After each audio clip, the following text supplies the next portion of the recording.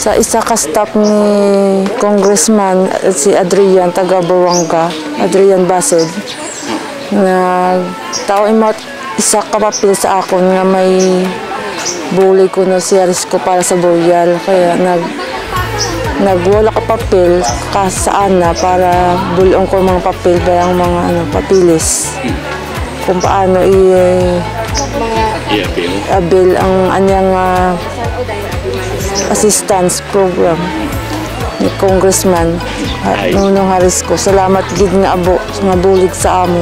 Salamat gid nga abo kay Congressman Chudorico Harisco sa ana nga bulig para kay tatay sa ana nga boyal. Cheryl Melieroso, um, taga Kamansi Sor naman Siaklan.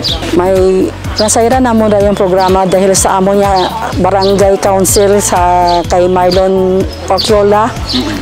Kaya pumunta kami dito, humingi ng tulong para kay Kong.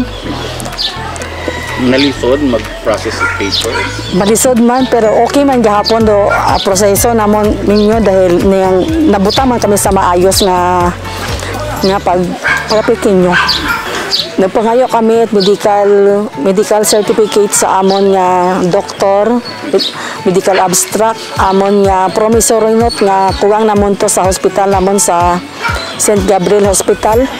Ang asawa ko, kumunlo, si Jerry Cipriano, kasi nagka may meron siyang diabet, ma, diabetes tapos nagka-infection yung sugat na dito sa back ah, ano niya kaya inoperahan doon sa St. Gabriel Hospital.